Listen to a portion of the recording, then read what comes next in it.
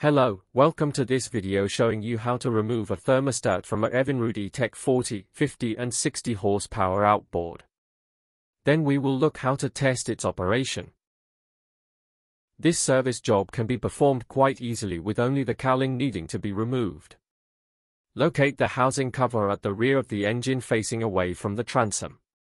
Remove the cover turning it anti-clockwise and withdraw the thermostat, tension spring, and both O-rings. Discard both O-rings as these will be replaced.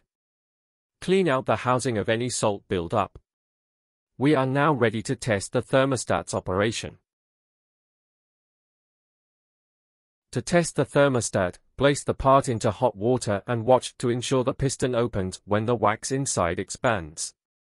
If this fails to open or doesn't open to within spec, replace. You can then refit it in the reverse order, using new O-rings. Thank you for watching, check out our other videos in the Evinrude E-TEC series for more servicing tips.